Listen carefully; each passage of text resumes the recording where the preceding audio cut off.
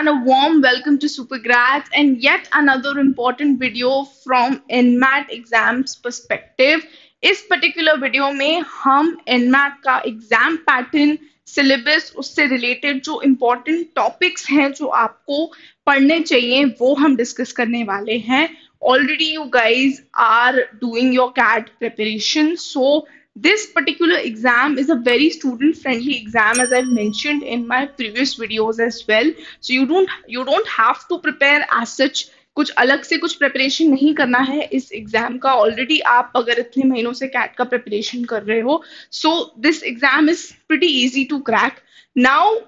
in my previous videos I have already mentioned about NMAT form filling so अगर अभी तक NMAT का form नहीं फिल किया है so please do that because registration end हो, उससे पहले ही आप अपना फॉर्म फिल कर लो, अपना पर्टिकुलर स्लॉट जो है वो चूज़ कर लोगे so you would be able to get your desired slot so make sure I already made a detail video on NMAT form filling so you can check that out on the channel Previously, I've also discussed about the top NMAT colleges, top 10 NMAT colleges that you guys should be ideally targeting with their cutoffs and everything. And इससे पहले हमने NMIMS Mumbai और बाकी के जो NMIMS campuses हैं उनके बारे में भी डिस्कस किया है तो ये सारे वीडियोस आपको चैनल पे मिल जाएँगे so if you are here on the channel for the very first time make sure you subscribe to the channel क्योंकि ऐसे और इंटरेस्टिंग टॉपिक्स के साथ ऐसे और अपडेट्स के साथ वीडियोस के साथ डिटेल्ड वीडियोस के साथ हम लोग आने वाले हैं। So now without wasting any more time let's get started now the very first thing let is understand the important dates related to the NMAT exam ताकि आप कोई भी डेडलाइन मिस ना करो। रजिस्ट्रेशन ऑलरेडी स्टार्ट हो चुका है as you all know from first of August and it will end on October tenth so उससे पहले प्लीज़ अपने एनमैट के फॉर्म्स फिल कर लीजिए। आई अंडरस्टैंड कि अभी सारे एग्ज़ाम के फॉर्म्स एक साथ खुले हैं so you guys are in a this thing कि कौन सा फॉर्म भरना चाहिए, कौन सा फॉर्म नहीं भरना चाहिए but please keep your backup option also ready if not CAT then ये सारे एग्ज़ाम्स भी हमें देने हैं. सो मेक श्योर कि आप एनमैट का फॉर्म भर लो बिकॉज़ इसके जो स्लॉट्स हैं, वो first come first serve basis पे ही रहते हैं, जैसा कि मैंने अपने प्रीवियस वीडियोज़ में बताया है. Next the scheduling as in the scheduling of the slots also has begin already from first of August से स्टार्ट हो चुका है और आप फोर्टीन अक्टूबर तक जो है स्लॉट्स चूज़ कर सकते हो ऑल दो फॉर्म का डेडलाइन टेंथ अक्टूबर है, लेकिन आप स्लॉट्स जो है फोर्टीन अक्टूबर तक चूज़ कर सकते हो। That particular window would be open in your forms. Next retake now as you all know आप एनमैट की तीन अटेम्प्ट दे सकते हो. सो so, रीटेक का जो विंडो होगा वो सिक्स ऑफ़ नवंबर को स्टार्ट होगा and it will be till seventeen of December and as we all know इस बार जो एनमैट का विंडो है वो कंपेरेटिवली शॉर्टर है than previous year earlier it use to be a 75 to 76 days का window this time it is a 45 to 46 days का window and first August से rescheduling will start if you want to reschedule your slot suppose आपने एक particular slot choose कर लिया है और आपको रीस्केड्यूल करना है, आपको लग रहा है, नहीं, मैं उस स्लॉट में तो एग्ज़ाम नहीं दे पाऊँगी. तो आपका जो है, आप रीस्केड्यूलिंग भी कर सकते हो और रीस्केड्यूलिंग का जो लास्ट डेट है, वो है सेवनटीन दिसंबर 2024 सो इसके बीच में जब भी आपने कोई स्लॉट पिक किया है if you want to change that particular slot and you want to choose another date so you can do that in this particular window next exam delivery as in आप exam कब लिख सकते हो NMAT का? तो उसका window fifth नवंबर से है till December 20th. So, this is the window for your NMAT 2024 exam as i mentioned it is a shorter window this time so आपको बहुत ही वाइजली अपने अटेम्प्ट चूज़ करने पड़ेंगे। And as you all know N M I M S Mumbai और K J Somaiya ये दो ऐसे कॉलेजेस हैं जो सिर्फ़ आपका फ़र्स्ट अटेम्प्ट ही कंसिडर करेंगे। सो so, आपको इंश्योर करना है कि जब भी आप एनमैट का फ़र्स्ट अटेम्प्ट लिखो it should be with the full preparation next let us understand the test fees also तो यहाँ पे टेस्ट का registration as you all know it is three thousand plus taxes जब भी आप पहले अटेम्प्ट के लिए या जब जब भी आप फिल करोगे फॉर्म का फ़ीस तो it is three thousand plus taxes now this is just the NMAT registration fees as in जो एग्ज़ाम फ़ीस है, सिर्फ़ उसी की बात कर रहे हैं हम. आप जो बाकी कॉलेजेस में आप अप्लाई कर रहे हो be it N M I M S K J Somaiya और any other college that you are selecting उसका फॉर्म आपको अलग से फिल करना है उसके लिए you have to pay separately next retake अगर आप रीटेक देते हो फॉर द सेकेंड और थर्ड टाइम भी अगर आप एग्ज़ाम लिख रहे हो तो रीटेक के लिए भी you need to fill separate charges तो रीटेक का भी fee is same three thousand plus taxes Now, additional score reports beyond first five, उसका 400 per score record, report है plus applicable taxes. Now, what does this mean? This simply means कि जब आप NMAT का form fill करोगे जैसे मैंने video में बताया था NMAT के फॉर्म फिलिंग वीडियो में कि आप पाँच कॉलेजेस तो सिलेक्ट कर सकते हो फ्री ऑफ़ कॉस्ट और मैंने वो पाँच कॉलेजेस के नाम भी बताए हैं जो आप सिलेक्ट करोगे ड्यूरिंग द फॉर्म फिलिंग पाँच के बियॉन्ड अगर आप कोई अगर कॉलेज सिलेक्ट करते हो तो पर college you need to pay a charge which is of 400 rupees so that is what they have mentioned over here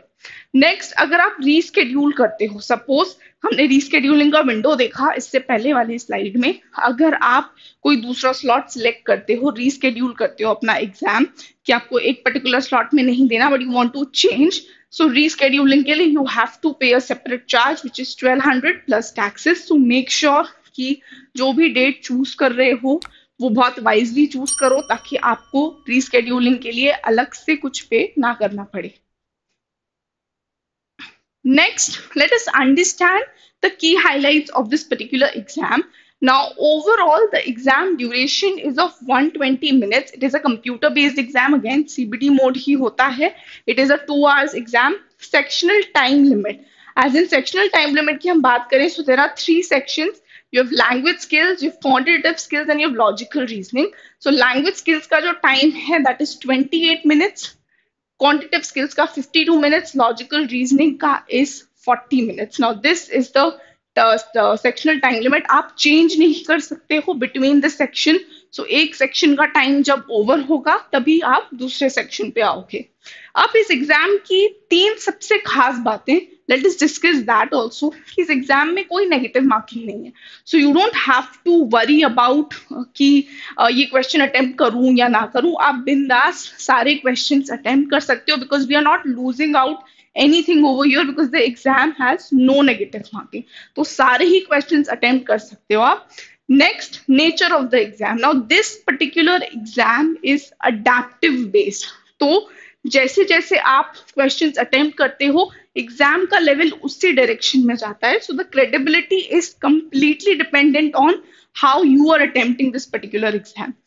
next the section order now major advantage जो है, जो शायद किसी एग्ज़ाम में नहीं होता है that is choosing the section order तो एग्ज़ाम स्टार्ट होने से पहले ही आप जो है सेक्शन का ऑर्डर डिसाइड कर सकते हो whether you want to attempt language first whether you want to attempt कौन सेक्शन फ़र्स्ट या लॉजिकल रीजनिंग पहले करना है तो वो आप अपने हिसाब से चूज़ कर सकते हो. So these are the three major advantages and that is the reason why you should write this particular exam Okay, now let us understand the exam pattern and the marking scheme. If we look at the language skills section over here, you have 36 questions. In fact, सारे ही sections जो हैं तीनों में 36, 36, 36 questions हैं, which makes a overall of 108 questions over here. If you look at the time limit, we discussed in the previous slide, 28 minutes you get for language section. Quantitative skills के लिए you get 52 minutes logical reasoning के लिए you get 40 minutes which makes overall of 120 minutes which is of 2 hours so basically this exam is of 2 hours and if you look at the score range so it's 12 to 120 12 to 120 12 to 120 Which is 36 to 360 के बीच में होता है score range so total अगर मैं marks की बात करूँ तो 360 मार्क्स का है ये exam and if you talk about the marking scheme also तो as I as I have mentioned already कि करेक्ट आंसर के लिए you get plus one you not losing out on not attempting any question तो अगर कोई question unattempted भी छोड़ते हो तो यू नॉट लूजिंग एनीथिंग और नेगेटिव मार्किंग के लिए भी यू नॉट लूजिंग एनीथिंग क्योंकि एग्ज़ाम में कोई नेगेटिव मार्किंग है ही नहीं.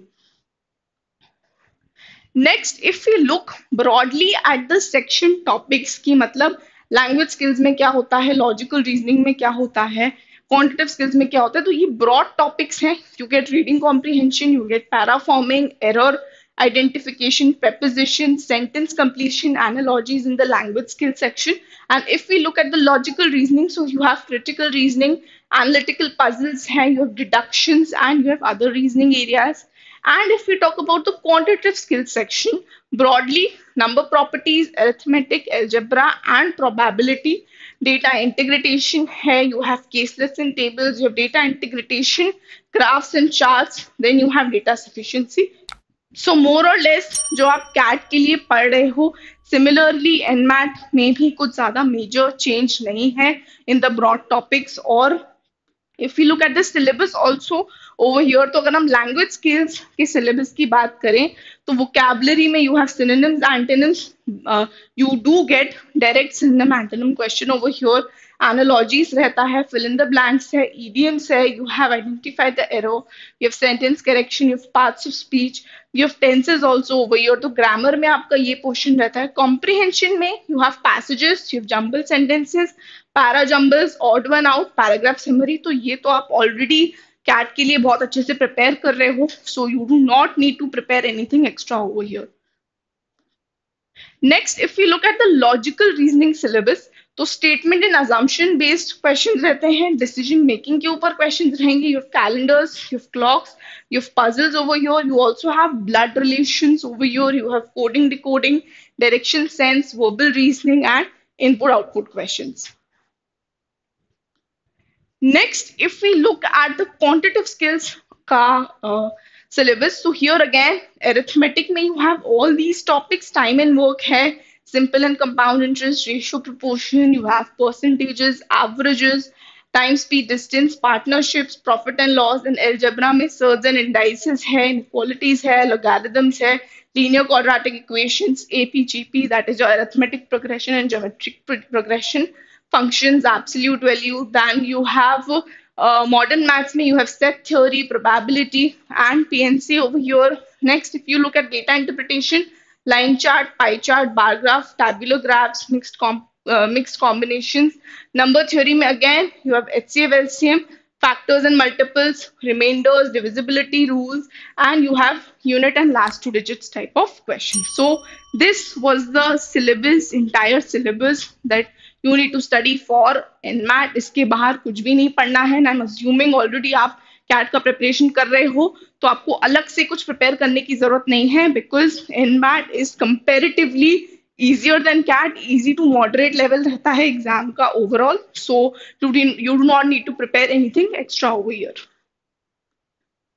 Okay, students, so that was it from my side with regards to the broad discussion related to NMAT exam pattern and syllabus. Make sure that you do not miss out the important dates and deadlines related to the exam. And if you want to stay updated with the daily tips, strategies, or pre previous year questions of CAT or uh, other management entrance exams, then make sure you do join our Telegram channel. The QR is given over here. Make sure you scan this particular QR and join the channel so that you do not miss out on anything. You can also join us on Instagram, YouTube, and you make sure that you subscribe to the channel if you're here for the first time and let us know in the comments below if you have any doubts, any queries regards to any particular exam, college related query or anything, or if you want us to bring something for you, then you can definitely let us know in the comment section below and we will get back to you with the same. Till then, stay tuned to Supergrads.